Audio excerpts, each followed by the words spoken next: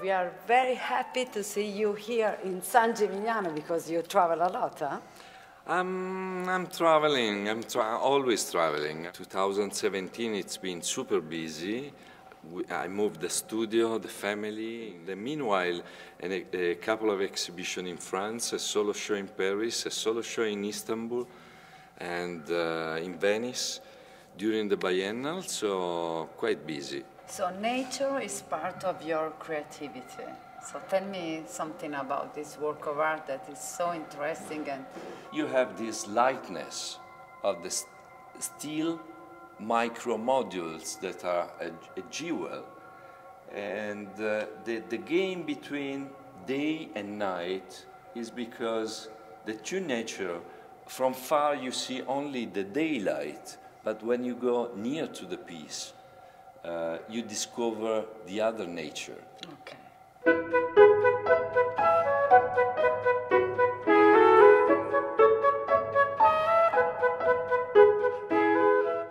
And all the exhibition is playing around this uh, idea of uh, nature and artifice.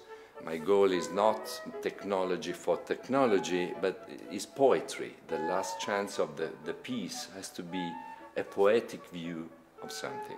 What's the name of this special work of art? You the mean, title? You mean the title? Yes. Annunciation in three frequencies. Wow. Here in Florence, uh, Renaissance period, it's very popular because nature is very strong. And so, like uh, the spring of Botticelli, so I see here the plaint of Myrrh is similar. Why? I grew up in Siena, so this uh, 10 years long time of approach to the ancient art, to the, to the medieval and Renaissance art, uh, gave to me sort of luggage that's coming out during the time.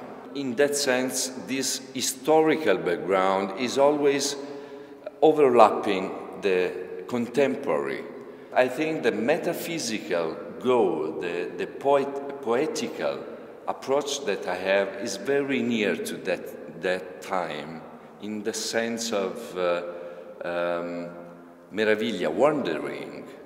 The goal is a relationship between poetry, science, and nature. This is the base of the cultural yes. relationship of Renaissance. We are trying to translate something in another language, but always with the same problem.